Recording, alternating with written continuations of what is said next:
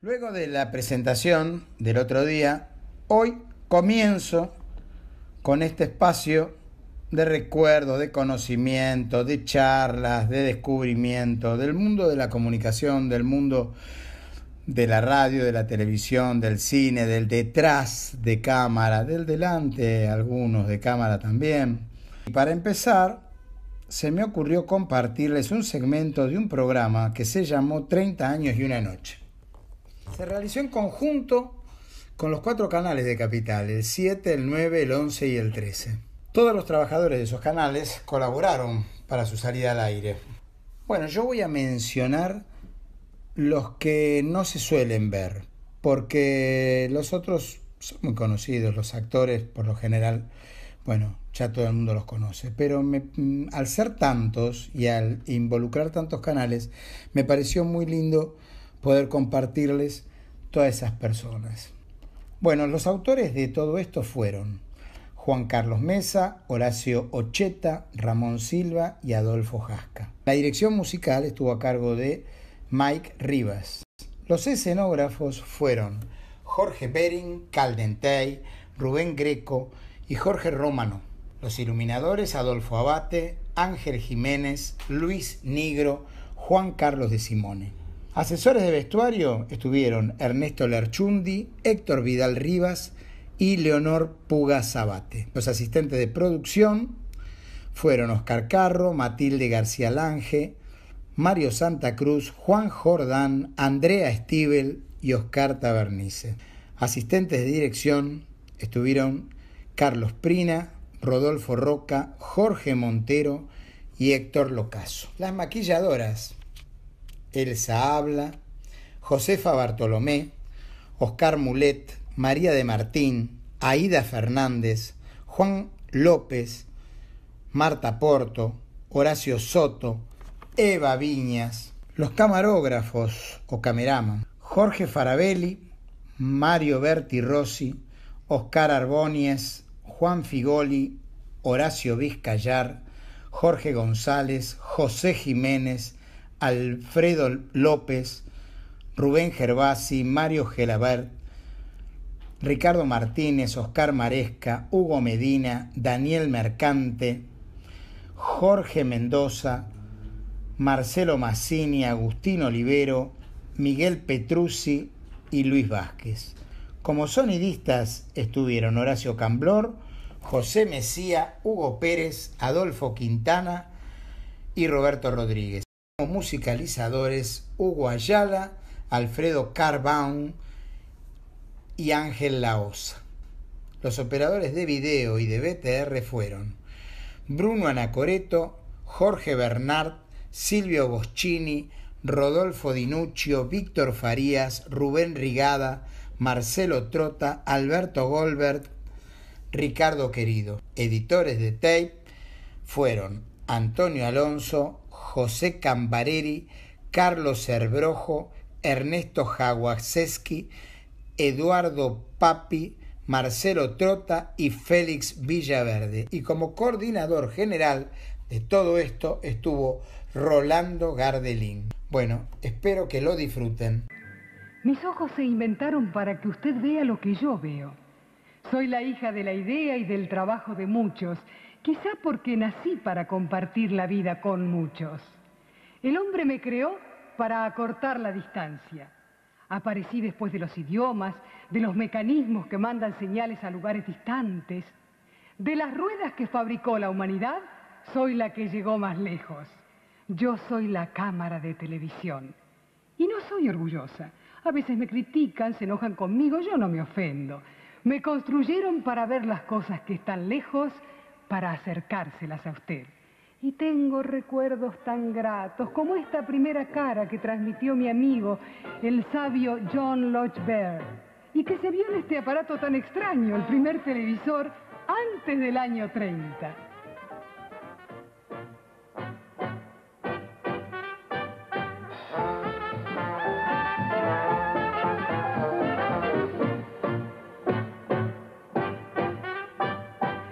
Aquí en Buenos Aires, en el coqueto barrio de Caballito, los ingenieros Lamarque, Medina y Grimberg fundaban el Centro Argentino de Televisión.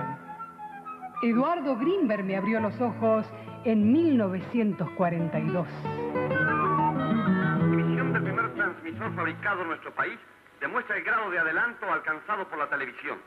Don Eduardo E. Grimberg, su entusiasta propulsor en Argentina, hace una demostración del equipo construido por su iniciativa ante un seleccionado núcleo de invitados especiales. La Argentina puede enorgullecerse de no cerrar ojos ni oídos a este avance del progreso, invento maravilloso que es una feliz combinación del cine y la radio. Las probabilidades de su extraordinario desarrollo y de su empleo en infinidad de actividades, a cual más interesante y útil para la humanidad, abre una magnífica perspectiva en el porvenir.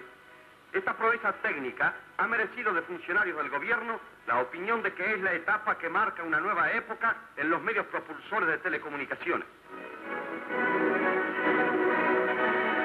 Concurrentes a la demostración son televisionados por primera vez en su vida. La imagen se reproduce en el receptor. La pequeña oscilación se debe al desincronismo de las cámaras de nuestro noticiario.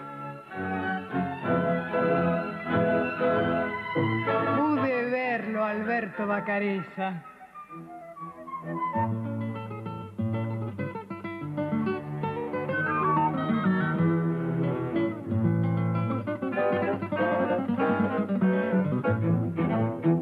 Por primera vez en nuestro país se ofrecen exhibiciones de televisión artística con carácter netamente experimental, señalando el camino a futuras transmisiones y propendiendo la difusión de esta maravillosa conquista del progreso. Artistas populares y de prestigio actúan ante cámaras especialmente diseñadas para transmisiones fuera de estudio, como experiencias científicas, sucesos deportivos, reportajes, etc. Estas mismas escenas captadas por la cámara se reproducen fielmente en la pantalla televisora. Con la misma fidelidad se toma y se emite el sonido perfectamente sincrónico.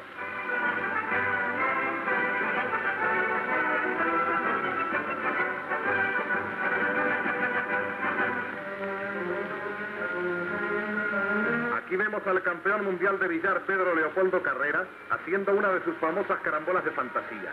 Le acompaña el animador radial Carlos Ginés. La cámara por dentro nos muestra la perfección de su complicado y maravilloso mecanismo. Este es el equipo de control que asegura la fiel captación de la imagen y el sonido.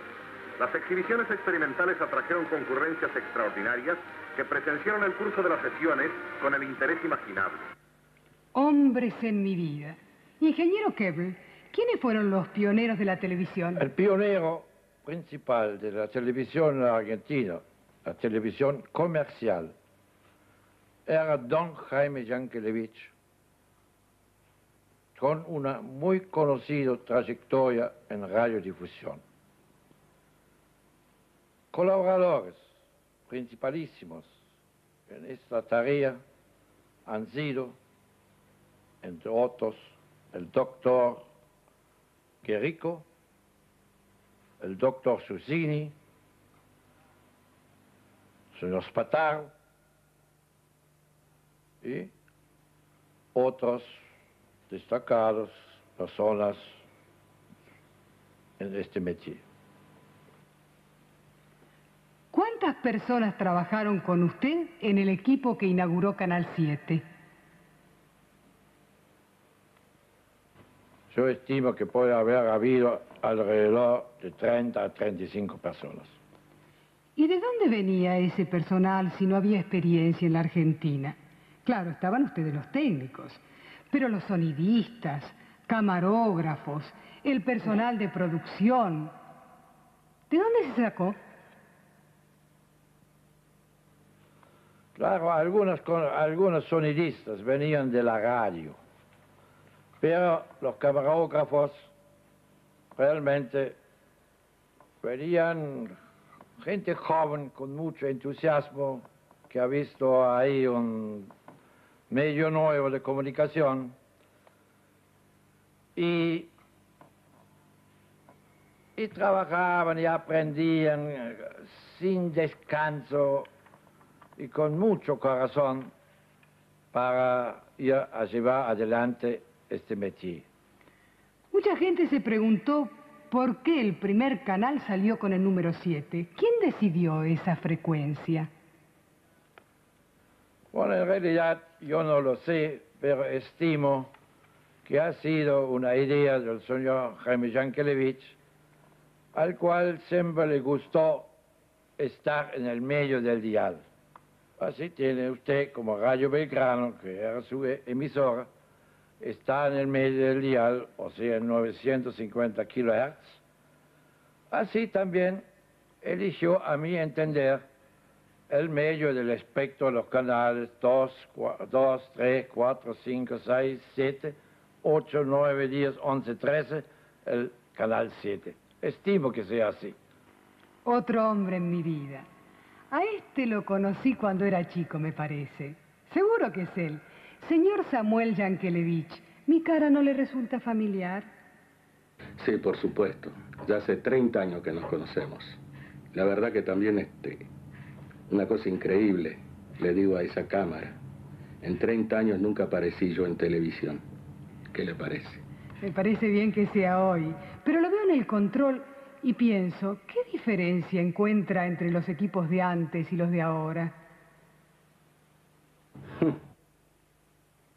Sí, más o menos 550 botones.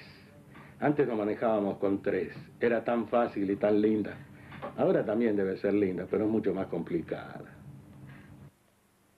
Señor Yankelevich, ¿qué fue lo que animó a su padre, a don Jaime Yankelevich, a introducir la televisión en la República Argentina?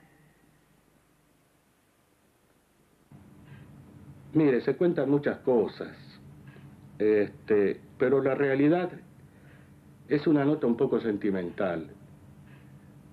En esta noche de fiesta para la televisión, yo quisiera tener un motivo y un homenaje para ese hombre, para ese pionero de la radio y de la televisión.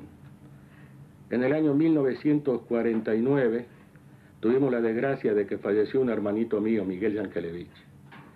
Era un muchacho que siempre estaba detrás de don Jaime pidiéndole a cada instante por qué no trae la televisión al país. En aquel momento no se podía hacer muchos esfuerzos porque el gobierno de aquel entonces no lo permitía, se manejaba perfectamente bien con la radiotelefonía.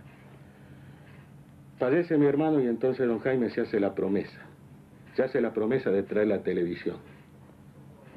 Va a los Estados Unidos, conversa con la gente de Standard Electric, que fueron los primeros equipos que llegó al país. Viene la televisión, se encuentra con sus técnicos que estaban con él, colaboran, realizan, hacen, perfeccionan, planifican. Y me acuerdo siempre que en Radio Belgrano don Jaime estaba rodeado de todos sus colaboradores mirando la placa, que era LR3 Canal 7, que venía como una especie de relámpago. Y la gente lo aplaudía y la gente se sentía contenta porque veía por vez primera la imagen de esa placa antes de la inauguración oficial.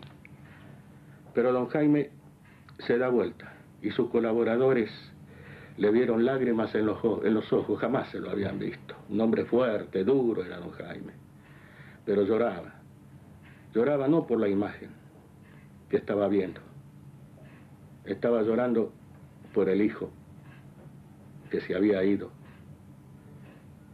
y en cuyo homenaje trajo esa televisión. Le aseguro que me siento muy emocionado, no lo hubiera querido decir, pero es un justo homenaje a dos personas que no están y que mucho contribuyeron para que la televisión estuviera en el país.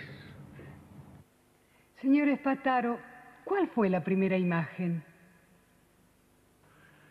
Las primeras imágenes eran las que se tomaban en los alrededores del mismo local de la planta transmisora, incluido este, personas que se encontraban ahí trabajando y eh, se desenvolvían, con lo cual se apreciaba también este, las condiciones en que funcionaba eh, el equipamiento. Ahora llegó un momento en que ya esas imágenes eh, demostraron todo lo que podían, entonces me dirigí al señor don Jaime Yankelevich para decirle que ya era necesario transmitir una imagen que mejor identificara al sistema de televisión que estábamos tratando de poner en marcha y prestar el servicio correspondiente. Entonces, en el despacho del señor don Jaime Yankelevich, tomó este mástil con la bandera correspondiente, me lo entregó y me dijo, empezá a transmitir esta imagen como señal distintiva. Y así procedimos.